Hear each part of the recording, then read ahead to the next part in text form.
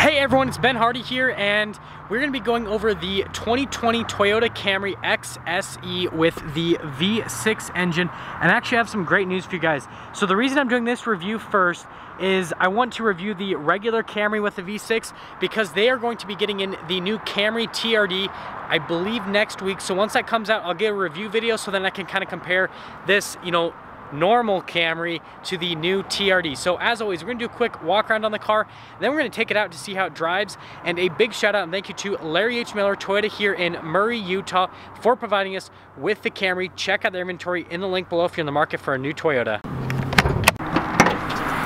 Under the hood here of the 2020 Toyota Camry, we have a naturally aspirated 3.5 liter V6 that goes through an 8-speed automatic transmission. In terms of fuel economy, 22 around town, 32 on the highway. Pretty easy to remember. Power figures, 301 horsepower, and then 267 pound-feet of torque. Not as easy to remember. Let's go over things on the front. So you can see they've got these nice little lines on the hood, make it look a little bit more muscular. And then you've got these full lights, you can see it just locked on me. So you've got full LED lights right there, LED projector bulbs as well. You've got this cool little venting here in the front the whole grill as well. Everything here looks a lot more aggressive, a lot sportier compared to the past generation. And then that is the Toyota logo, but it also doubles as the adaptive cruise control sensor as well. But let's head over to the side. So around the side here, we've got 19 inch rims, 235 millimeter tires in the front and the rear as well. I really like the design on them, how they do like the silver inserts with the black spokes. It looks really, really clean in general. And then they kind of got that little connection there for mud flaps, which I think that's cool to have on a sedan. Um, but everything here, all down the car, since this one is finished in black, everything is black. So let's head to the back. Here's our key fob for the 2020 Camry. You've got a couple functions, your lock and unlock and then your trunk release. If we hold that down, that is what will open up the trunk and notice that it pops all the way open. Some sedans decide not to do that function. It says Camry right here and then we actually pick up this whole mat cluster you can see that there's all that stuff underneath the jack, all that um, fix-a-flat kit, everything that you need if you ever get stranded with the car. But cargo space back here is actually pretty decent in general. Finishing things out back, let's start at the top here, which I am going to give you guys a hint on the TRD, this spoiler setup is going to be much more ridiculous than in the regular Camry, but you do get a little spoiler. It is body painted. You got the Toyota logo, Camry logo just down below, parking sensors in the rear, and it actually does have, you can see like a little rear diffuser, which I think is awesome. Quad outlet exhaust, super, super sporty looking. I mean, you can see with the whole back end how that makes it look so much sportier. It says XSE for the trim package, full LED tail lamps, and then you can see that they kind of wrap around to the side as well with the reflectors on it. But overall, I think the rear angle on this, kind of like the rear quarter angle, is probably its best angle. Now in the rear here, we can see the door panel. So you've got some soft touch up top, and then we've got some leather padding down here with the red leather. You can see there's some white contrasted stitching. A little bit of black trim right there, which I really like. Window control, and they actually continue the red theme onto the speakers. And you can see the interior on this is completely red, so full red leather. Actually looks and feels pretty nice in general. And then you've got the cup holders that you can pull out, and it's kind of funny how it just, yeah. Anyways, you actually do get vents for the rear passengers and then legroom is actually really decent and the backs of the seats are also full leather. A lot of manufacturers will cheap out and just put plastic here but Toyota did not and then you get little mat pockets. We've got keyless entry in the Camry so one touch to lock it and then to unlock it you just have to put your hand on the back of the door handle and then we can see that the panel here in the front is identical to the one in the rear so same soft touch with a little silver strip leather, more of the red leather with the white contrasted stitching. All of your window controls down in this little area right there. You've got your mirror adjustments as well. And then again, red continues onto the speaker. We can see the seats here in the front. I actually really like them. The bolsters on them are super, super wide. And then you can see it's fully perforated throughout the entire seat. That'll come in handy a little bit later in the video. You can see you've got power adjustments with your lumbar support, and then you've got the little pedal layout, and it says Camry right there on the floor mat. And then we can see over here that the steering wheel is manually adjustable paddle shifters, which again, those will come in handy a little bit later. This is for your gas, your tailgate.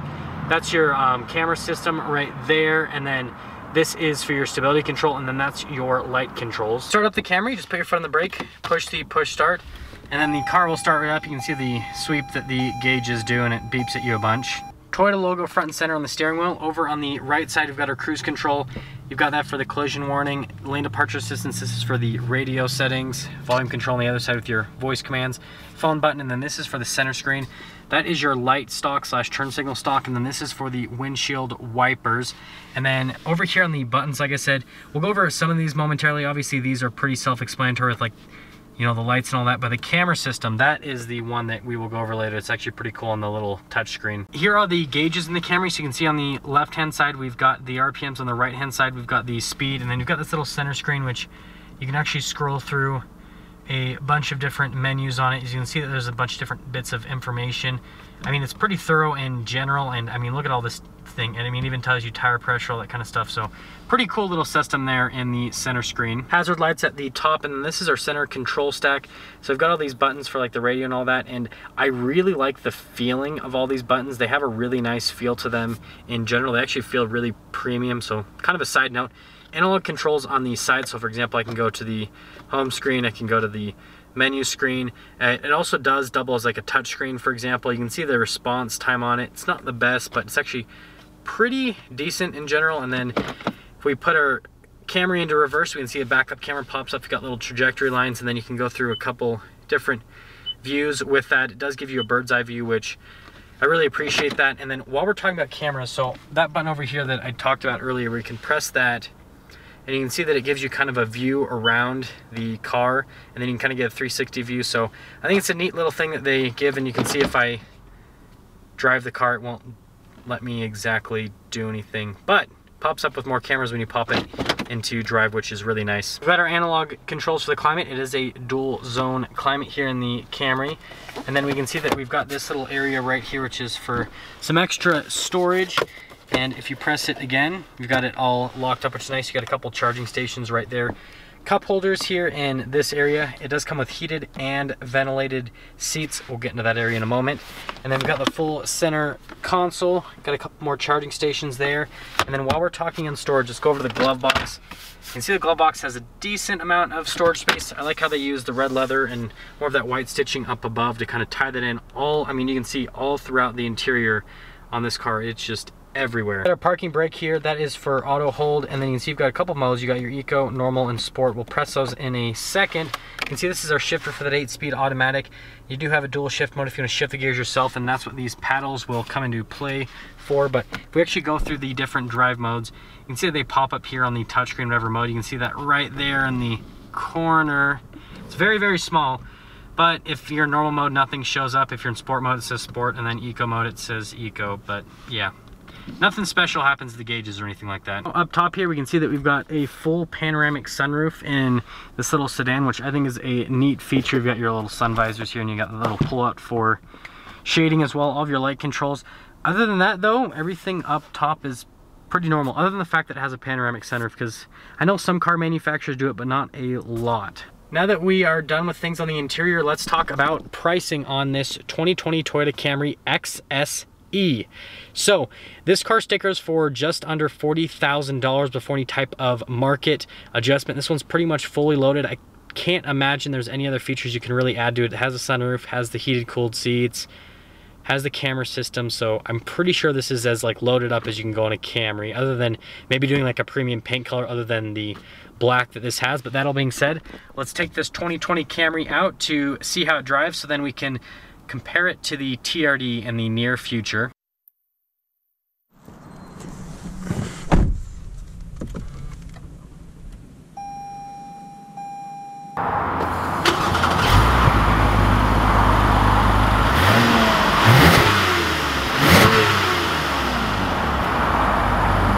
So before we set off here in the Camry, let's talk about visibility. So you can see visibility over the front is pretty good. You can see visibility through both of the mirrors as well.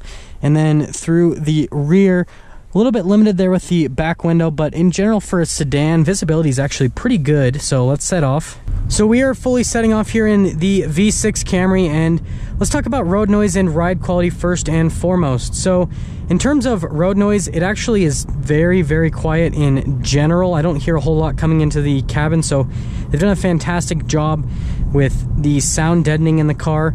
Ride quality, it's exceptionally smooth, um, especially for a sedan. And I expect that with a little bit longer wheelbase that the Camry is. It's definitely going to be smoother than something like a Corolla or a Yaris or a Prius. Please don't buy a Prius. Anyways, it's, it's super smooth, suffice to say.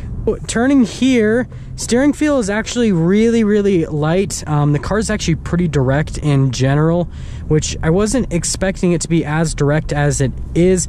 I know I did drive a 2019, but I already kind of forgot how that one drove, sadly. But yeah, steering on it's really direct. The steering though is very light, so if you're looking for like a very light, effortless steering rack, good to go on this one. Flip it uh, into a sport mode and get a little acceleration here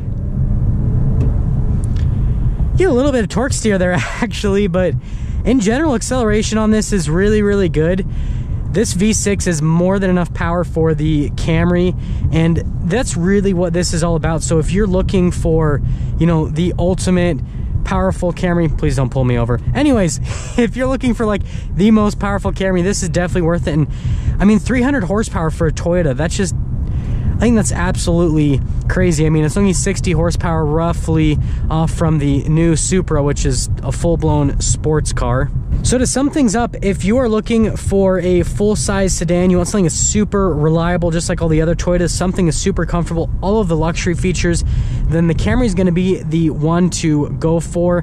It's a little bit more popular than the Avalon, and it's for good reason. It's pricing, and then also the size of the car as well, and then the sportiness. All of it kind of comes together into one complete package. So if that is what you are looking for, definitely check out one of these 2020 Toyota Camrys. And there we have it, everyone. The 2020 Toyota Camry XSE. Really like this car, but I am super excited to be able to review the TRD once that arrives on the lot here at Larry H. Miller Toyota here in Murray, Utah.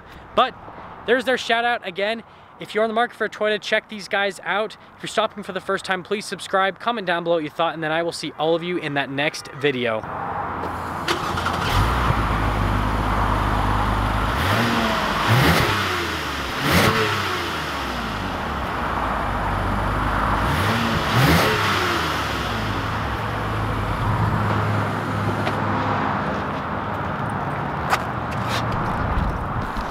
I was totally seeing if it would sound different in sport mode and it didn't. So yeah, there's that.